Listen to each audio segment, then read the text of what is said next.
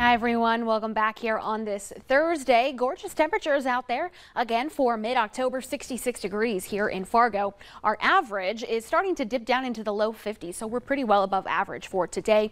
Moorhead currently sitting at 66 or 63 degrees.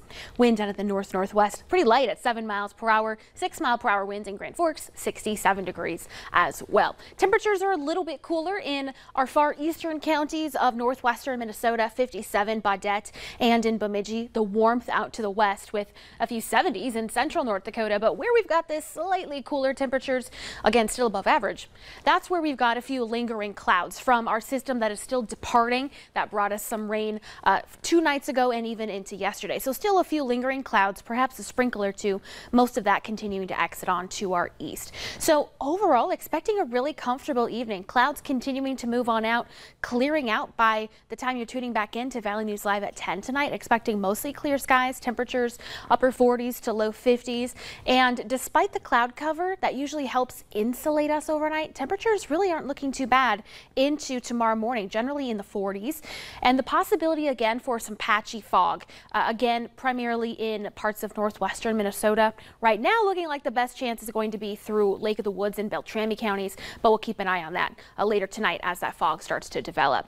Overnight and into tomorrow, uh, aside from the fog, we're looking pretty quiet until we get to the afternoon. The wind is going to be picking up out of the north and west, but ahead of that strong wind increase, temperatures are looking beautiful. 60s and even some low 70s in parts of the Southern Valley and into southeastern North Dakota.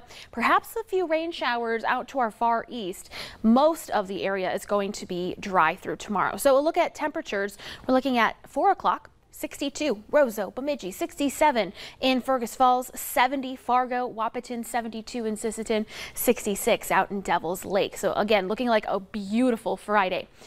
But we're looking ahead still, giving you that first alert to a pattern that will turn us colder and bring some possible wintry precipitation. That low pressure system still setting uh, to track into the northern plains Still very uncertain if it's going to impact us here in the Red River Valley. The European model uh, mostly brings us some cold rain later next week and into next weekend. The American model still bringing us some areas of heavy rain and even some snow. So some great discrepancies between our forecast models. But as I've said, it's still more than a week away. So we're going to see changes in the timing and track. But Bobby, we are here keeping our eye on it and we'll of course bring you all of the latest updates. Yeah, but also goodness, looking forward to tomorrow. A yes. 70. I thought that they were gone forever. Definitely going to be enjoying tomorrow for yes. sure. Summer, thank you.